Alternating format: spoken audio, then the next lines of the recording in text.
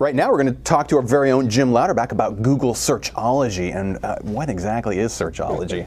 what, what the heck? Is so Searchology was Google's attempt to convince a broad swath of uh, invite-only tech journalists that they were all really about search, and it was the 70%. We do 70% of our stuff's about search. Forget all that other stuff.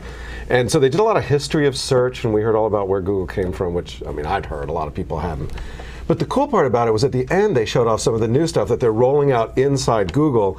And so rather than talk about uh, you know whatever Marissa Mayer said, I figured I'd show you some of the cool new stuff if that's all right with you. I would like to see this. So let's start off with Google. Now, if you've gone to Google in the last day or two, you may have noticed that there's some new things that have come up. But the first that I want to talk about is more conceptual. It'll be coming out over the next week. It's called Universal Search. Now here's the concept. You know in Google you do regular Google search and it searches through you know the standard set of stuff. Get your results. Right. You know but, table. But they have image search and they've got news and they've got local and they've got you know six or seven blogs, uh, all this other stuff that shows up. What they each of those runs on its own set of servers, has its own set of algorithms, and does its own thing what they've done, and this has taken over the past couple years, hundreds of engineers, is they've merged all that together. So over the next week, they're going to be rolling out, when you put a search term in, it's not just going to search Google, main Google, but it'll search news, it'll search images, it'll search videos, it'll search blogs, it'll search local, and it'll integrate all that stuff together. That's awesome. Now, you may have seen some of this happen already where if you go in and do a search for something physical, it'll pop up a little map in there. Right. That's just the beginning. And it's not up and running yet, but I'll give you an idea of what it might look like. Um, you love this human catapult video? I, it is the best. Okay, I'm gonna hit Google search. Now, right now, what you'll what you see is just sort of the normal, you know, results that show up here.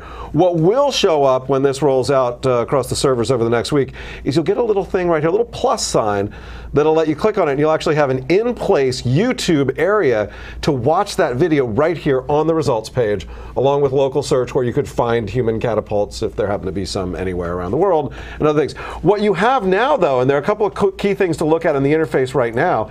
Right here, they've actually pulled in two different pages, and you can click from web to the video results here really easily. And here you can find that human catapult on YouTube that you love so much. This is just awesome. Um, go watch it. We're not going to watch it right now. It's quick, but. Another thing that they did, and this is something you may notice up here on the upper left-hand side uh, of, uh, they've actually added a navigation. About Google puts navigation time. into their interface. And this, Robert, you we were talking about this before. You're like, I want this because it's got Gmail right here, right? Exactly, because every time I've uh, I use the Google Start page as my start page for my browser. So if that loads up, and then I end up going to my iGoogle page that has a Gmail link, it was like a three-step process just to get my Gmail account from my Start page. This now puts that exactly search, or that toolbar right it at the top. It puts that toolbar right up here, like and also with, through the More button, you can pull up all their other stuff. Oh, by the way, Book Search also also is going in that universal search. It's one of the others, just that I realized it's there. But the neat thing about this is it's contextual as well. So if you go over to Gmail, notice here it's web, images, video, news, maps, Gmail, more. If I'm in Gmail, it changes to calendar, documents, photos, groups. So it's smart enough to give you what it thinks are the things you want, and then via more give you access to everything else.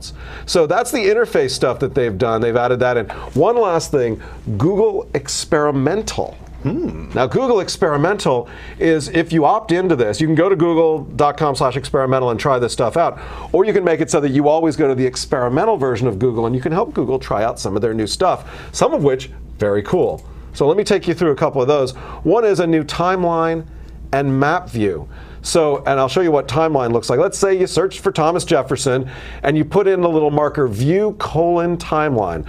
Now again, this only works in experimental. Okay. But what it does is it pulls up a timeline here that's clickable where you can go say, okay, everything that he did in the 1800s, 1780s, 1790s, et cetera. And as you scroll down, you see those results showing up with a timeline here in the vertical side as well. So horizontal and vertical. I like that as a research which is, tool. Which is kind of cool. And what do we do? Oh yeah, we did a, uh, it works for lots of stuff. The Pentium, we did the Pentium view for the timeline.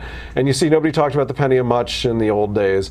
But then around 1998, it started talking about century. a lot. Yeah, back in, back in the 1980s, you know, interestingly enough, uh, the, at any rate, it's not perfect, but you see how it works, and it's kind of neat there. Another thing they did is they did a uh, kind of integrated map, a map mashup, as you were, through the view colon map.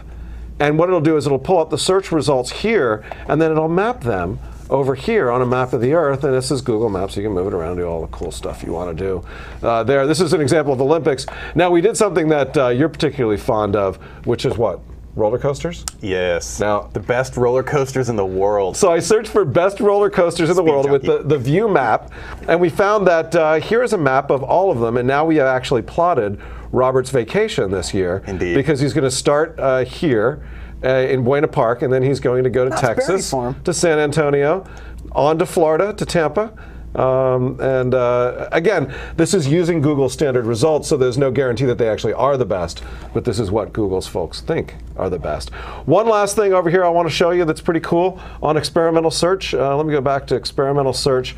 Uh, keyboard shortcuts. For those of you who like to use your keyboard versus uh, using other things, I'm just going to show you a, a keyboard shortcut here.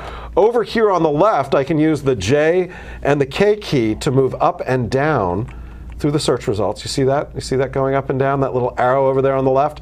And if I want to open something up, just hit the enter and it'll open up that search result. Uh, or I can go back and do lots of different things. So that's kind of nice if you like to just use your, um, your keyboard to get and around. And that's enabled Google. by default with the experimental page. You got to go to the experimental page to run that. There are a couple of other things in there, including some left navs and some right navs and some other things that they're trying out. But really, the, the real big thing here is the universal search, tying all those different things together. Now, with video, they're putting the video in place with Google Video, with YouTube, with Metacafe, and they will be adding more people in along the road, including, but they couldn't tell me when we're getting our stuff in, which I thought was really important. So that, you know, if you type in, how do I um, back up my DVD, which is something you did a little while ago, that should show up as a video in place in the Google results. We're working hard to get that in. That's awesome. Awesome stuff. Convenient too. There you go, yeah. Cool stuff, cool new stuff from Google. That's right. pretty neat. If you like the video you just saw, you can find lots more at www.dl.tv.